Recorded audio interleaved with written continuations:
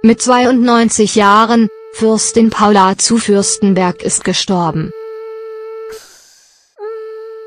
Der deutsche Adel hat einen schweren Verlust zu verkraften. Fürstin Paula zu Fürstenberg ist im Alter von 92 Jahren gestorben. Bis zu ihrem Tod hatte die Ehefrau von Fürst Joachim zu Fürstenberg in Donaueschingen in Baden-Württemberg gelebt, wo ihr Gatte bis 2002 das Fürstenhaus geleitet hatte. Nach dessen Tod waren Paulas Sohn Fürst Heinrich, 68, sowie ihr Enkel Erbprinz Christian, 41, in Fürst Joachims Fußstapfen getreten.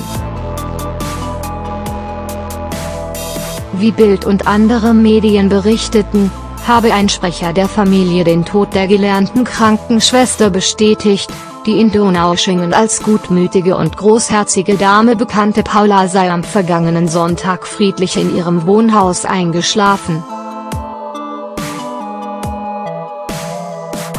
Eine Trauerfeier für das Mitglied einer der ältesten europäischen Adelsfamilien sei für kommenden Freitag angesetzt. In den vergangenen Jahren hatte die sechsfache Mama, elffache Oma und achtfache Urgroßmutter sehr zurückgezogen gelebt. Ihr letzter öffentlicher Auftritt war im Mai 2016, als sie ihren 90. Geburtstag feierte.